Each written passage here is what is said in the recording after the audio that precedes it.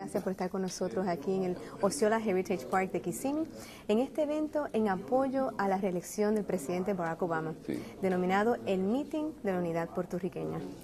Eh, comencemos hablando de esta iniciativa, el Meeting de la Unidad Puertorriqueña, a un mes de las elecciones presidenciales en noviembre. Eh, y donde ambos partidos, republicanos y demócratas, están trabajando arduamente por ganarse ese voto boricua aquí en la Florida.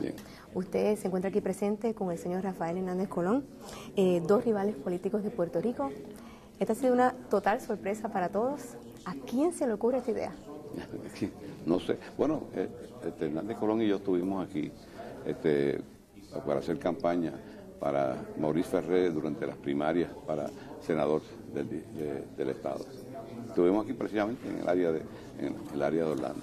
En Orlando. Sí, parece que ahora el Comité Central del Partido Demócrata y los estrategas del presidente Obama, pues pensaron que sería una buena idea que Hernández Colón, que es demócrata, y Carlos Romero Barceló, que es demócrata, aunque él es estado librista, yo soy estadista, pero que podíamos venir a apoyar a Obama.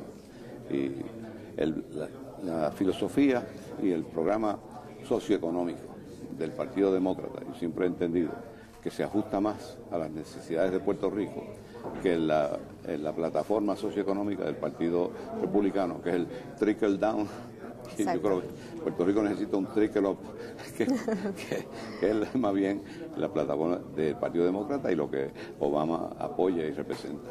Exacto, ahora eso no cambia el factor de que son dos personalidades eh, de carácter fuerte. ¿Cómo logran ponerse de acuerdo para esta unión? Bueno, es que en, la política hay, lo personal no, debe entrar nunca en, la política.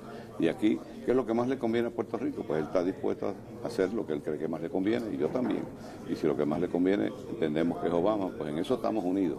Y no hay ninguna razón por la cual mantenerse en discusión sobre algo que estamos de acuerdo.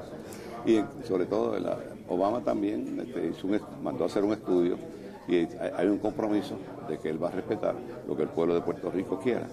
Y en estas elecciones hay una, tenemos, además de las elecciones para elegir el gobernador, comisionado residente, senador, representantes, alcaldes y asambleístas, hay también un referéndum sobre si queremos continuar siendo territorio eh, de los Estados Unidos, sí o no. Y obviamente yo espero que el voto sea no, porque si el pueblo de Puerto Rico votara así, de que quiere seguir siendo territorio, para mí sería un bochorno. Yo creo que sería una... yo no me atrevo a salir fuera de Puerto Rico que me preguntaran, oígame, ¿y usted puertorriqueño, usted de esa isla del Caribe que votaron para seguir siendo colonia? Eh, sería un bochorno para... Yo espero que votemos no. Y luego, si votamos no, no queremos ser... Yo quiero mi ciudadanía americana, creo en la democracia, aquí, y sobre todo la igualdad. Y la igualdad política es la estabilidad. Y Obama tiene un compromiso de respetar lo que el pueblo de Puerto Rico diga. Así que pues, por eso también estamos respaldando. Entonces era la pregunta que iba a hacer.